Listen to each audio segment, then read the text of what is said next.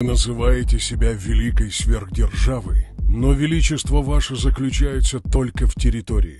Живя в богатейшей по природным богатствам стране, уровень жизни, который должен быть как в Эмиратах, на деле нищета и разруха, где у пропагандистов виллы в Италии, а старики едят просрочку.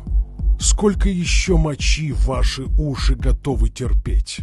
Это не мир ополчился против вас. Это вы ведете себя как варвары в 21 веке. Захватываете чужие страны, убиваете мирных людей, лжете и лицемерите.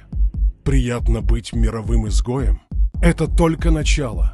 Дальше все как в Северной Корее. И если кажется, что лично тебя это не касается, ты же не выбирал эту власть, то именно с твоего молчаливого согласия это происходит. Страшно, что повяжет на митинге ОМОН. Ничего, ничего, ведь правда не страшно, когда твой брат, друг, муж, знакомый вернется в цинковом гробу.